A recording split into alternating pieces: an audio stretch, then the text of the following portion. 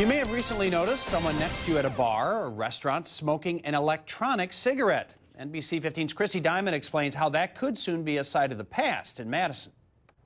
Well, tomorrow night, Madison City Council members will vote on a resolution that would add electronic cigarettes to the smoking ban, meaning they'd fall under the same rules traditional cigarettes do.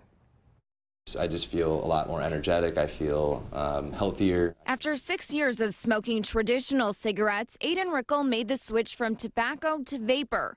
He's now co-owner of Mad Vapor on the city's west side. I mean, I get thanked a lot, which is it makes me feel good. And, you know, I I help people that have been smoking for 30, 40, 50. I think the longest somebody's been smoking for like 75 years. But as e-cigs popularity rises, so does the uncertainty about their long-term effects. While we can say that electronic cigarettes may be safer than traditional cigarettes or burned tobacco, we cannot at this point say that they're safe. That's why Alder Lauren Cnare is sponsoring a city ordinance to include e-cigarettes in the same category as cigarettes and other tobacco products. Potentially we could find out these devices are completely safe and we would change the ordinance.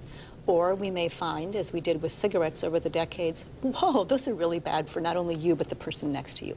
The ordinance would prohibit the use of e-cigs inside public places like bars, restaurants, and most stores, just like the current smoking ban. We do know that our Indoor Clean Air Act, which is really the no smoking ban, has worked incredibly well for people. We know that our restaurants are back in business, our bars are back in business. People are grateful to have the choice to have clean air. The ordinance includes an exception for vaping stores where you would be allowed to use an e-cig indoors. We're not banning the product, we're not banning the use of the product in any way. So their business should, quite frankly, continue as is. And Rickel says, for the most part, he agrees with that. I don't really hear very many people that come in here saying like, "Oh, I'm so excited I can go use this in a bar." You know, I don't really hear that. You know, I hear people, "Oh, yeah, I'm excited I don't have to go stand outside at my house." Otherwise, I don't really think uh, it'll affect us that much.